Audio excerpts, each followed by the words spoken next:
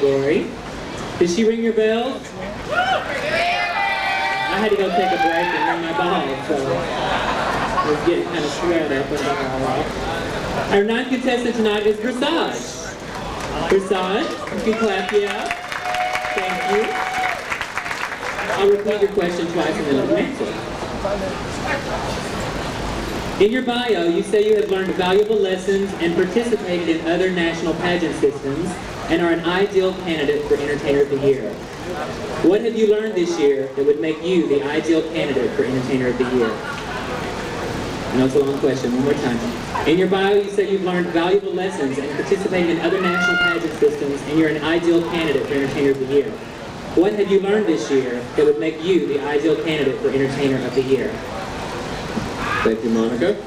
Good evening, Louisville. My name is Versage, and I am your finalist number nine. In response to the question, what lesson have I learned in the past year for from running different national pageants? Basically, that this business is very unpredictable, and you never really know what's going to happen until the fat lady or the skinny girl sings.